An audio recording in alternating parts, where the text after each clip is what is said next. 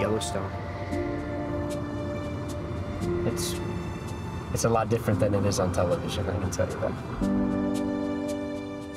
For two years, I've been a ranch hand, working the land on the Paramount Network series Yellowstone, a role I was born to play. See, as a kid, I discovered my love for this giant, wild punch bowl where the sky just goes on forever. But today, something is amiss. Yellowstone is seeing changes that have hunters and ranchers, scientists and park visitors alike concerned. Not just for the future of the park, but for the planet itself. I want to know why this particular place is so important, why this environment, this ecosystem can answer the bigger questions that we have. So this trip is different from the ones I took as a child. This trip isn't about discovering nature's beauty, but about finding out what I can do to preserve it.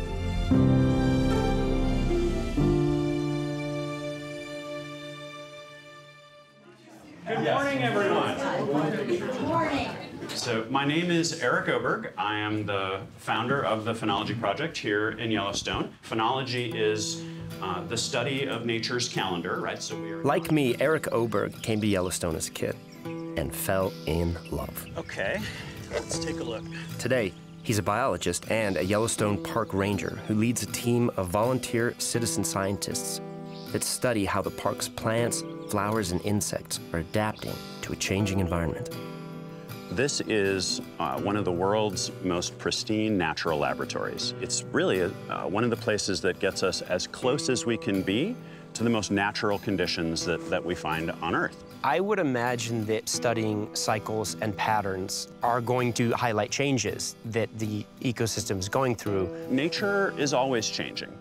But here in Yellowstone, we have some really clear evidence that that pace of change is happening faster. Spring is now coming about a month sooner than it did 30 years ago. 30 years ago? Yeah, a month change in about 30 years of time. Someone who understands the challenges facing Yellowstone better than most is Dr. Mike Tercek, a PhD in ecology and evolutionary biology. He's one of 875 permanent residents of Gardiner, Montana, the gateway to the park. Here, he's spent the last 20 years exploring and studying his town's next door neighbor. Can you, can you tell me why it, it's so important that we use this ecosystem here at Yellowstone? This was a national park before there was a National Park Service, you know, 1872. It was the place where preserving nature was born, you could argue. If we can't protect this and do the things to maintain it, what does that mean for the rest of the world, the life support system that keeps us alive? To better understand the scale of the threat that a warmer and drier climate means for Yellowstone, we decided to get out of the weeds and into the clouds.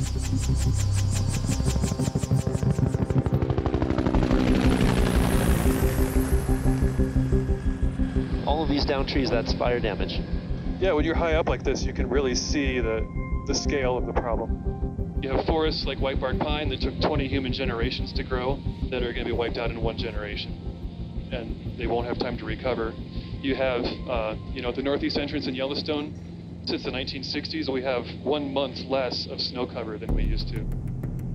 What would you say to people who would argue that the differences that we're seeing are an anomaly that if you zoom out far enough, it's going to be just a blip and it's not as bad as you think and it's going to be part of the normal course corrections of the planet. The biggest difference is the rate of the change that we're talking about. And it's, it's very well correlated to industrial activity. If you run the climate projections out into the future under a business as usual scenario, you'll have years that are as dry as 1988, which was considered, you know, like a 300 year event. By 2050 or so, that'll happen every three to five years which means that uh, it'll become a charred moonscape. So if we would just lose all the majesty of our forest. Yeah, you know, I think a lot of people will say, well, it'll still be wild and it'll still be different. But I have to disagree. You know, we're in the early stages of what I consider to be a catastrophe, and you can't hide how you feel about this anymore. This, for me, has to work out a certain way. We need to stop the problem before it gets to that point.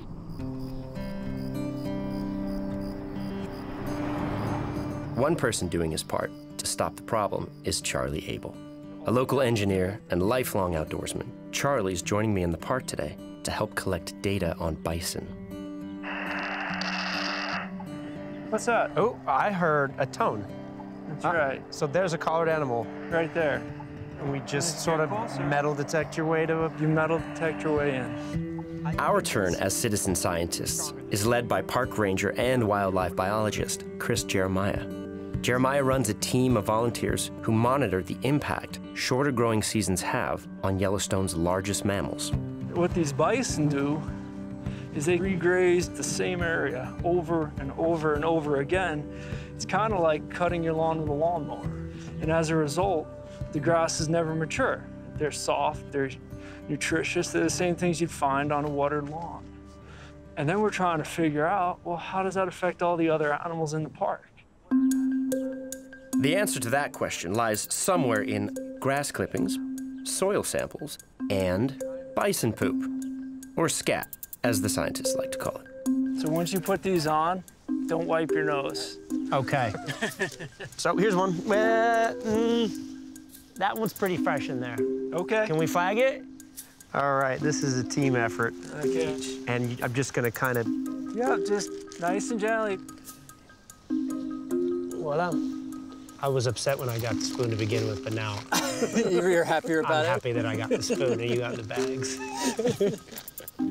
And I think the biggest take home from bison is to realize that these animals are incredibly resilient. They don't just move to find food, but how they move makes food. And they're very smart, And they're just gonna adapt to these changes or try to, or try to. try to. Because the hard thing is what, what happens if they can't?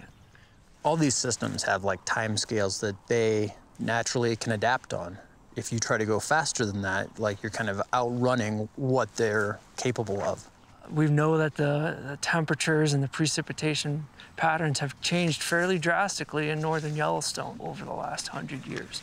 So that's probably happening maybe more rapid relative to how animals are learning. That does mean the animal populations in Yellowstone 20, 50 years from now may look entirely different than they do today. The way that I understand the whole system working, all of the parts work together. And I didn't realize how land did that in this way. The soil and the ground and the, what lives on it shape one another, and it's a continuing dance cycle of life. You know, I've never felt so motivated to be a better dance partner, I guess. My fellow bison scat collector, Charlie Abel, has been dancing with climate change for decades. First, as an MIT trained engineer who started a mining and drilling company with his dad, and as a lifelong hunter and fisherman. Now, he's a dedicated volunteer for the national nonpartisan organization Citizens Climate Education, and will talk to anybody who will listen about climate change solutions. Most people have opinions about this, like it's kind of a polarized thing. Mm-hmm. But if you start drilling down into exactly what people know, you can help draw them into a conversation. a lot of people that might disagree that this phenomenon of climate change is even real or existing are the most adversely affected by it, and they are outdoors people. Will it take them to lose things and see it before they want to make an effort? It might. That's the unfortunate truth. Like, the streams might have to get warm enough that trout have trouble surviving. We might have to lose some big game. Stuff like that might have to happen for people to realize, hey, this is affecting me. So there's got to be a way to plug in the people that don't know what they don't know. That's it's, that's not economical. I want to put something in their heart and shock them so they they wake up. Yeah, so, and I think everybody wants to do that, but the reality is you can't, you can't push or shock people. That's why I take the approach that I do, because I think honestly it's the only one that can be successful. We own a piece of paradise. Just one time in our life, a chance to see the stars.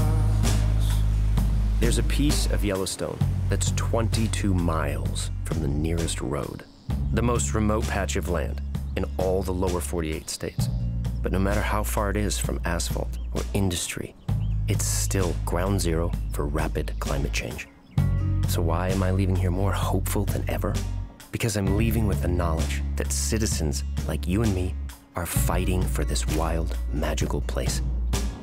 The real trick is to kind of call the legislators. Like, they'll actually listen. And so that's why I'm going around talking to people. Just because it's not happening today and just because it doesn't look like it's going to happen tomorrow, we just keep grinding away and, and we'll get there. I was really inspired by what President Johnson said in 1964 when he signed the Wilderness Act, which is, you know, pretty connected to a place like Yellowstone. He said that if future generations are going to remember us with gratitude rather than contempt, we must leave them more than the miracles of modern technology. We must leave them a glimpse of the world as it was when it was new, not just after we got through with it. It's not a science problem, it's a human problem. You have to reach people in a, a, way that they care about, get them to care about a particular place like Yellowstone. After my trip to Yellowstone, I care about this place more than ever. And I'm gonna talk to as many people as I can about not only what's happening here, but what that means for our planet. Do you want to take action? Citizens Climate Education gives ordinary citizens the power to educate political leaders, the media, and the general public about climate change solutions. Find your local chapter and get started today.